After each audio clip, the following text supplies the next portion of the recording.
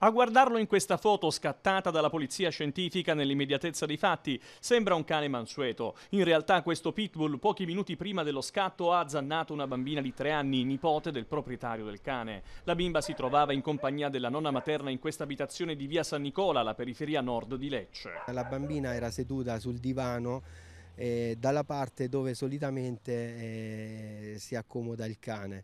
Quindi eh, il cane nel momento in cui ha scavalcato la finestra, nel momento in cui la nonna ha aperto la finestra, eh, probabilmente ha visto la bambina lì, l'ha ritenuta penso come un'invasione del, del suo territorio. Immediata la corsa in ospedale dove la piccola è stata condotta da alcuni vicini di casa senza aspettare l'arrivo dell'ambulanza. Le sue condizioni sono apparse subito gravi.